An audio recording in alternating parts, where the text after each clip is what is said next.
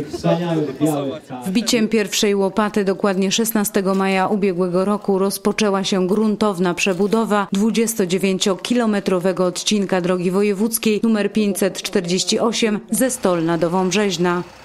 Przebudowa trasy to kolejna duża inwestycja na drogach wojewódzkich, która zostanie sfinansowana w oparciu o regionalny program operacyjny na lata 2014-2020. Przy udziale europejskich środków poprawimy bezpieczeństwo i komfort podróżowania, mówił podczas rozpoczęcia inwestycji marszałek Piotr Całbecki. łączy Wąbrzeźno ze Stolna, a tak naprawdę komunikuje region z autostradą A1 tutaj w Lisewie. No, niezwykle ważna inwestycja, rzeczywiście długo oczekiwana, ponieważ mieszkańcy codziennie korzystają z tej drogi i wiedzą, że ona już się po prostu rozpadła. Była łatana z roku na rok jakimiś atrapami, a dzisiaj no, musimy ją przebudować gruntownie. Dlatego jest ona bardzo droga musi przenosić e, ruch tranzytowy e, tak naprawdę powyżej 10 ton na oś, czyli tak w ich standardach budowana jak autostrada. Wówczas e, rzeczywiście węzeł będzie spełniał swoje funkcje, również gospodarcze, no bo przecież ta droga będzie służyła nie tylko komunikacji wewnętrznej czy samochodom osobowym, ale może przede wszystkim ruchowi tranzytowemu. A za tym idzie rozwój gospodarczy otwiera Wąbrzeźno dla nowych inwestorów.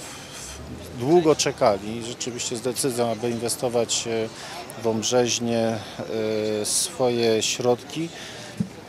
Przekonaliśmy ich, e, wiemy o tym, ponieważ władze miasta i powiatu mi o tym mówiły, e, że dziś już decyzje zostały podjęte o kolejnych inwestycjach, już prywatnych, czyli warto inwestować pieniądze w, drogi, w infrastrukturę, jeśli się je oczywiście tylko posiada, ponieważ za nimi idą kolejne inwestycje, a tak naprawdę nowe miejsca pracy i e, poprawa jakości życia wszystkich mie- mieszkańców. Podczas budowy część odcinków jest nieprzejezdna. Wprowadzone zostały objazdy. Roboty są dzielone na etapy, by minimalizować utrudnienia. Planowany termin zakończenia inwestycji to połowa 2019 roku. Wykonawca zadeklarował objęcie prac siedmioletnią gwarancją. Jesteśmy po przerwie zimowej. Rozpoczęliśmy w poniedziałek, wznowiliśmy prace związane z e, wykonaniem gazociągu, zakończeniem gazociągu w okolicach Wąbrzeźna. Nadal prowadzimy prace na pierwszym na drugim odcinku e, związane z kanalizacją, siecią wodociągową. Cały czas trwają poszerzenia. Mogę powiedzieć, że e, jest decyzja w sprawie konstrukcji. Jak tylko pogoda pozwoli, e, zaczniemy wznawiać prace związane z wykonaniem konstrukcji na całym odcinku. Dzięki wsparciu lokalnych samorządów gmin Stolno, Lisewo, Płużnica, Ryńsk oraz miasta Wąbrzeźno na całym zmodernizowanym odcinku powstaną bezpieczne, oddzielone od jezdni ciągi pieszo-rowerowe. Wkład finansowy samorządów w realizację tej części inwestycji to 4 miliony 300 tysięcy złotych. W przedsięwzięciu uczestniczą też powiaty chełmiński i wąbrzeski, które podobnie jak gminy przekazały grunty pod budowę.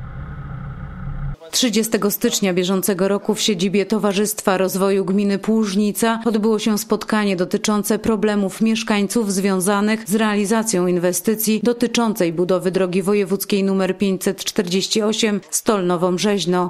Organizatorem spotkania był Zarząd Dróg Wojewódzkich. Nie muszą korzystać w żadnym wypadku z Jest to jezdni. największa inwestycja na drogach wojewódzkich e, właśnie w Kujawsko-Pomorskiem i dlatego uznaliśmy, że warto jakby przedstawić mieszkańcom na tym powiedzmy e, początkowym etapie prac budowlanych dokładnie to, jak zmieni się droga w ich gminie, jak będą wyglądały powiedzmy chodniki, ścieżki pieszo-rowerowe, ronda, gdzie one powstaną i jest to też taka dobra okazja do tego, żeby zgłosić powiedzmy ostatnie uwagi, bo mieliśmy też taki powiedzmy etap konsultacji społecznych na etapie jakby przygotowania projektu, ale teraz kiedy te prace budowlane już się rozpoczęły, lepiej widać jak będzie wyglądała ta nowa droga.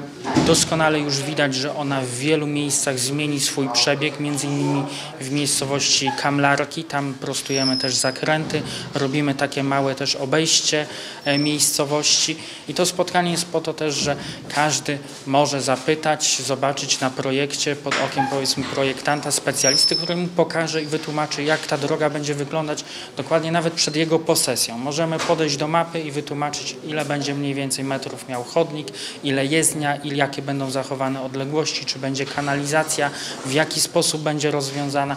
To są pytania, z którymi często spotykamy się na każdej budowie i tutaj robimy taki powiedzmy e, też dodatkowy ukłon w stronę mieszkańców, że nie czekamy na to, aż wszyscy powiedzmy będą do nas przysyłać jakieś pisma, pytania, tylko sami wychodzimy z inicjatywą, żeby się spotkać i zaprezentować to, w jaki sposób chcemy zmienić tą drogę. Przedsiębiorcy zgłaszali problem związany z bezpieczeństwem na przebudowywanej drodze oraz problemy z melioracją. Dyrektor Zarządu Dróg Wojewódzkich zaproponował, aby tego typu spotkania informacyjne odbywały się cyklicznie. W ten sposób można wspólnie zadbać o to, żeby mieszkańcy wiedzieli, jakie są postępy prac i jakie są planowane działania oraz dać możliwość mieszkańcom zgłaszania ich problemów i propozycji. Beznadziejna ta droga była, nie? To, to dziura na dziurze tutaj. Czego się spodziewacie jako mieszkańcy?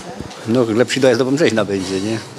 Szybciej po tych dziurach, bo tak to jest i pobocza i wąsko, jak z tirem się minąć, to w ogóle i to jeszcze na te dziury wpaść, to i samochód można uszkodzić. Mam nadzieję, że tak, że no, głównie chodzi tutaj o tereny parku inwestycyjnego. Y, Firmy myślę, że się jednak pojawią, że będzie to zrealizowane, bo tu jest główny problem w tym, że inwestorzy się pojawią i ku temu właśnie dodatkowo autostrada. udogodnienie będzie szybsza jazda, lepsze warunki i komfort po prostu jazdy. I z jazdy na pole mnie interesuje właśnie, oto mam y, przyległe pole, jaki będzie zjazd. Chcę tu dopilnować tego. Po prostu no, same, same, same przyjemności nas czekają. O tym, jak przebiegają prace na budowie długo oczekiwanej drogi, będziemy informować na bieżąco.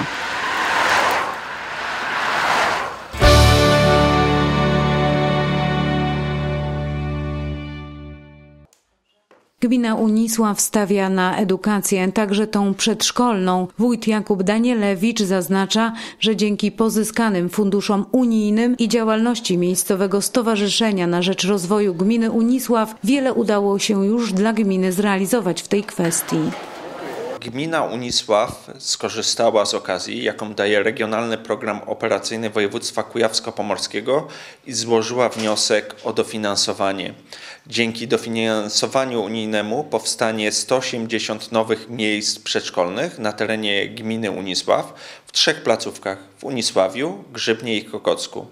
200 przedszkolaków, 200 przedszkolaków uzyska dodatkowe zajęcia to doskonała okazja, aby wyposażyć te trzy placówki w nowy sprzęt. Ponad 2 miliony złotych to wartość całego tego projektu. Dzięki temu projektowi zyskają nauczyciele, e, personel, który został w ramach tego projektu zatrudniony.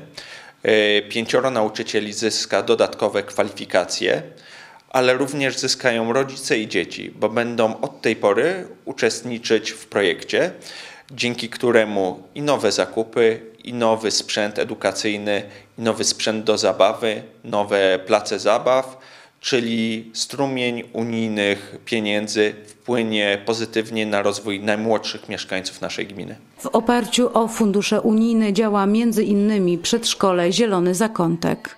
Udało się nam pozyskać e, pieniądze, e, dlatego że, że zamierzamy tutaj zakupić wiele e, ciekawych, innowacyjnych sprzętów, takich jak chociażby tablice multimedialne, stoły multimedialne, interaktywne podłogi.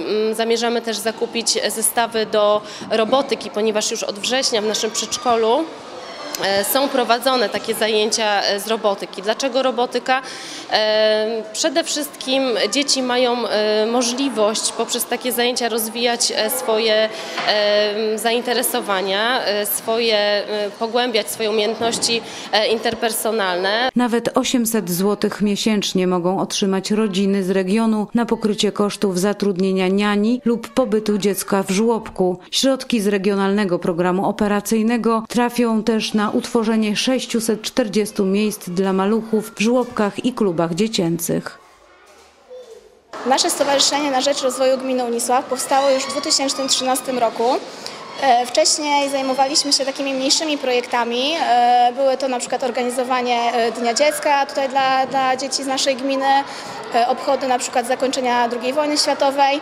Teraz dzięki współpracy z, z, z panem wójtem, z Urzędem Gminy realizujemy projekt Przygoda Malucha, utworzenie nowych miejsc przedszkolnych na terenie gminy Unisław, e, w ramach których e, zostało, zostało założonych 180 nowych miejsc przedszkolnych.